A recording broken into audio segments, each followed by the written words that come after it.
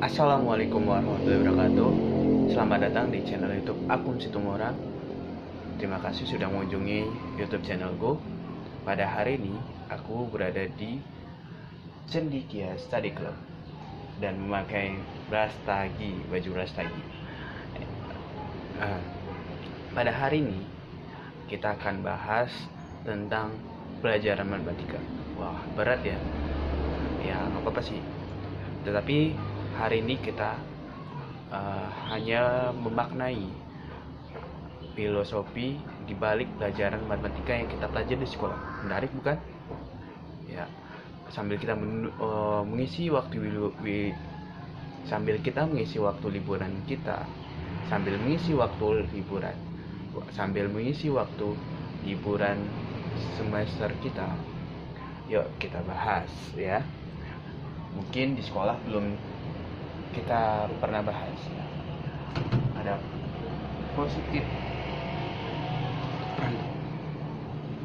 Positif dikali positif sama dengan positif.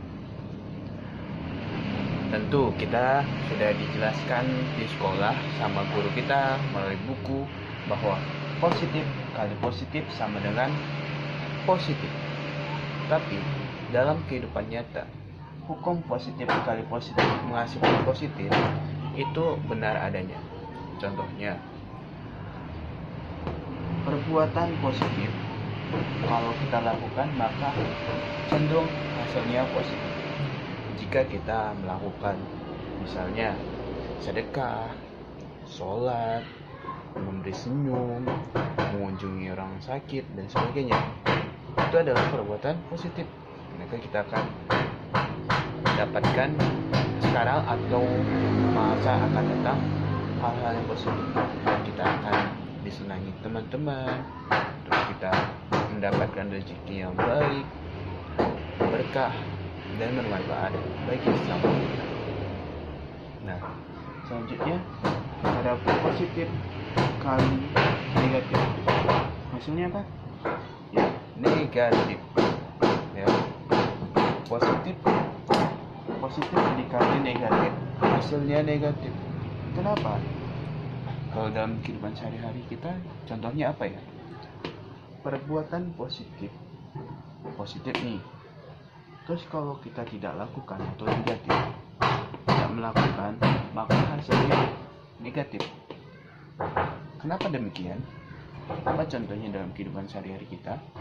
Contohnya perbuatan positif-positif misalnya yang wajib itu sholat, puasa, zakat, uh, naik haji apabila mampu membayar zakat. Tapi kalau kita dengan sengaja meninggalkan hal-hal positif tersebut, sengaja meninggalkan atau tidak melakukan, maka kita akan mendapatkan hasilnya apa? Dosa atau hasilnya negatif seperti itu selanjutnya negatif dikali positif. Hasilnya apa? Ya betul. Negatif. Kenapa?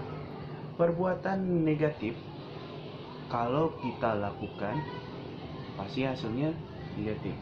Contohnya jika kita pakai narkoba ataupun perbuatan yang negatif mencuri berbohong dan sebagainya. Kalau kita lakukan maka hasilnya negatif jika kita mencuri berbohong maka kita akan tidak akan dipercayai oleh orang lain atau teman kita. Maka apa yang kita dapatkan adalah negatif. Selanjutnya negatif dikali negatif. Hasilnya apa ya positif. Perbuatan negatif kalau tidak dilakukan maka hasilnya negatif. Kita punya teman nih misalnya narkobaan terus suka berbohong dan sebagainya. Tetapi kalau kita tidak melakukannya dan mencegahnya maka kita akan mendapatkan positif. Kita akan terlindungi dari hal-hal pergaulan bebas oh, perbuatan narkoba dan sebagainya. Maka kalau kita terlindungi maka hidup kita akan penuh dengan positif. Jadi pelajaran dalam ilmu matematika sangat bermanfaat dan memiliki filosofinya mendalam kepada diri kita dan hidup kita. Ya, terima kasih telah menyaksikan channel kita dan video kita. Jangan lupa like, comment, dan subscribe. Thank you for your attention. Wassalam. Bye bye.